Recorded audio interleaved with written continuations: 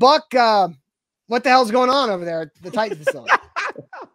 Well, uh, it's a bit of a shit show. Good evening, boys. I hope everybody's having a great time. Uh, yeah, the Tennessee Titans traded away AJ Brown this evening. I'm sure that that's news to everybody who's been back there talking about it. And uh, apologies that it took me so long to uh, to get down here, but yeah, it's been uh, it's been of a bit of a mess, I would say. All right, so take us inside because we can see behind you. I haven't seen it yet in person. I, I plan on going tomorrow but the Titans' brand new facility, their building that they've added onto, you guys in the media area.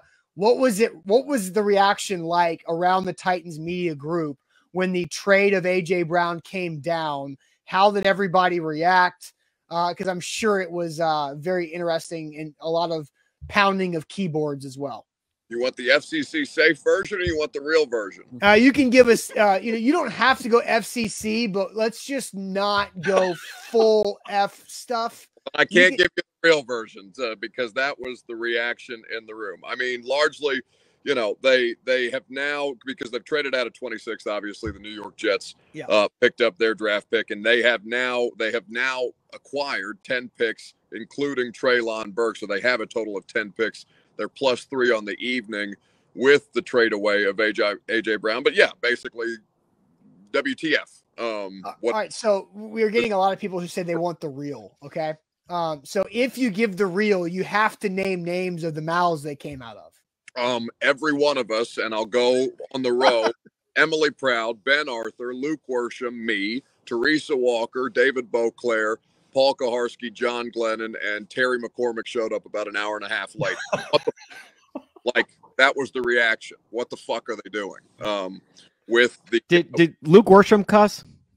No, um, he looked very he, I, I think, I think he said a dag nabbit, and then we, went, we, had, we, had, very soon after get on a uh, a Zoom call with Treylon Burks, who is now walking into a shitstorm because you know for the kid whose draft comp was AJ Brown, he did not understand how real that was about to be, given that he is now their replacement. So Jon Robinson and Mike Vrabel are going to meet with us as soon as the first round concludes, and uh, I'm going to uh, be in that press conference with uh, a great many questions, as are many of us, but you know, $25 million exceeded their price point. And whether that is justifiable or not to you for the most talented wide, receiver, uh, wide receiver in the history of the Tennessee Titans franchise, uh, maybe not the most accomplished um, or maybe not the most, you know, the best career because he wasn't here long enough, um, but without question, the most talented player at that position that this organization has ever had.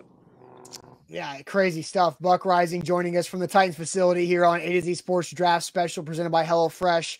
Uh, so Buck, you know what? What are your th- what was it like talking to Treylon Burks, right? Because you guys were on that conference call. I did see a few tweets about how he didn't realize that AJ Brown was traded basically for him. Uh, yeah. What was that conversation like with Burks on the phone? Um, he started off, you know, they they asked him what uh, basically what do you think about getting traded the or getting drafted by the Tennessee Titans? And he said, you know, my high school football coach told me that they were going to take me this morning, and I didn't believe him.